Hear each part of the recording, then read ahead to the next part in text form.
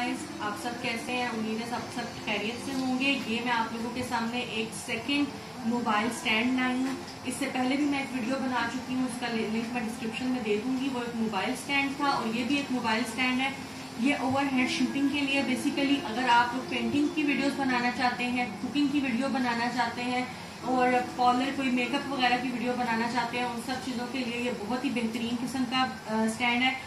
लेकिन ये खुद मैं भी फ़र्स्ट टाइम यूज़ कर रही हूँ उसके डिस्क्रिप्शन के अकॉर्डिंग ये सब काम काफ़ी अच्छे होते हैं। मैं आप एक वीडियो उसके बाद रिकॉर्ड करूँगी, जो कि मैं मंथ के बाद रिकॉर्ड करके इस वीडियो के साथ लिंक करूँगी।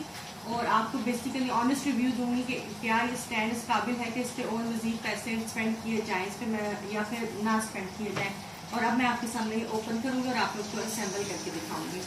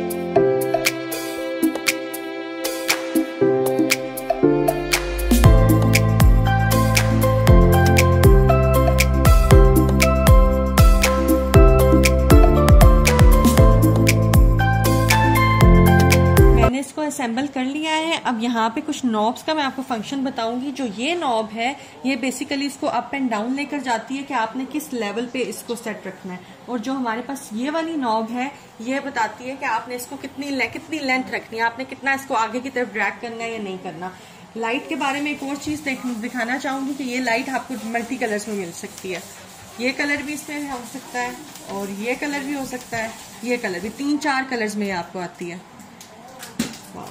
और यहाँ पे मैंने ऑलरेडी अब चीज़ें सेट कर दी थी आप लोगों को दिखाने के लिए। यहाँ पे जिस ये काम है, जिस जिस डेस्क के ऊपर हम काम करेंगे, ये वो जगह है। और ये ऊपर मोबाइल मैंने सेट किया हुआ है। आप देख सकते हैं कि कितने अच्छे तरीके से मोबाइल सारा कवर कर रहा है। और अभी मैंने मोबाइल पे जूम इन की ऑप्शन की हुई है। अगर मैं उसको थोड़ा सा there you go you can see कि वो वाइड एंगल में भी चीज़ें शो कर रहा है।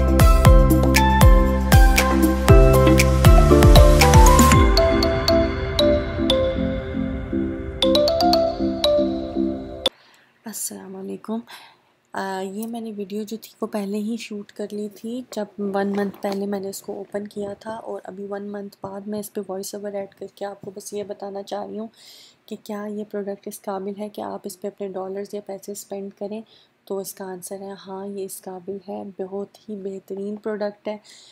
कोई मुझे इसमें से कोई मेन इशू नहीं फ़ील हुआ। एक ही इशू था कि जब इसका स्टैंड जो है वो आ, ज़्यादा वज़न बर्दाश्त नहीं कर पाता। अगर आप इसको पीछे की तरफ़ टर्न कर दो और लाइट और मोबाइल को डायरेक्शन को उसके ऑपोजिट साइड पे कर दो और स्टैंड पीछे की तरफ़ कर दो ताकि वो कैमरे में ना आए तो उसके लिए होता है कि आपको स्टैंड के ऊपर कोई वेट रखना पड़ता है। पर I don't think so it's a big issue और डील आप कोई भी वेट रख सकते हो, कोई भी पत्थर ही या फिर मैं तो घर मेरे पास मोटर एंड पैसल है हैवी किस्म की मैं वो रख देती हूँ। बट उसके अलावा वो सारा काम बहुत अच्छा करता है। सो आई थिंक सो कि ये प्रोडक्ट इस काबिल है कि इस पर पैसे खर्च किए जाएँ। Thank you so much like अगर आप, ये वीडियो आपके लिए हेल्पफुल थी तो लाइक करना मत भूलिएगा। चैनल को सब्सक्राइब करना ना भूलेगा आपके एक लम्हे का क्लिक हमारे लिए बहुत बहुत बहुत मैटर करता है। Thank you so so much